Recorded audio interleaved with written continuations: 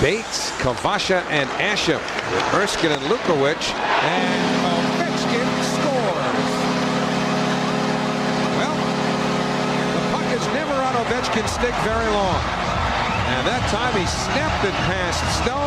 Six games in a row now for Ovechkin with a goal, and Washington leads one to nothing. Well, you make any kind of mistake at all, and you end up giving him room on the other side, and that's what can happen.